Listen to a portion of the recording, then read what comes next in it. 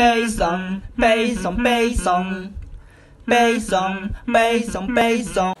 どうも、今日別のサイトゥはい、ということで、え本日はですね、ちょっとね、違う部屋に移っております。まあ、こちらね、本来なら寝室なんですけど、うんえー、こちらの寝室のね、大きいベッド、こちらをね、一旦解体をしたいと思いますそのね解体風景を本日は皆様にお届けしたいと思います。セミダブルサイズ、まあ、こちらのねベッドを解体しますね。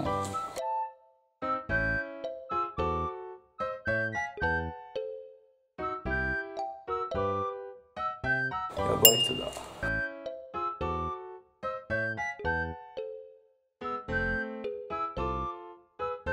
こちらの部屋を撮影の部屋にしようかと思いまして。なのでこちらの寝室をね取っ払って。取っ払って取っ払って。えー、撮影の部屋にしたいと思います。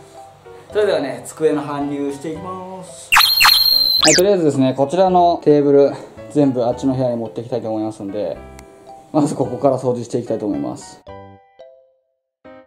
よしある程度形は見えてきましたね。さあそれではあとは黙々と作業して完成だけを皆様にお届けしたいと思います。はいということで完成しました。いやーお疲れ様です自分。はいということで完成した編集部屋撮影部屋がこちらです。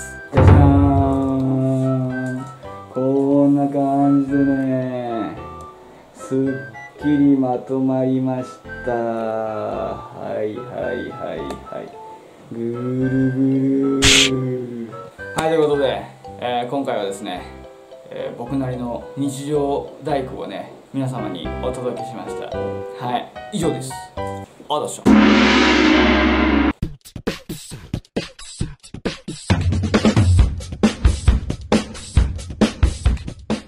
面白かったらチャンネル登録お願いいたします。チャンネル登録は左の俺の顔からクリックです。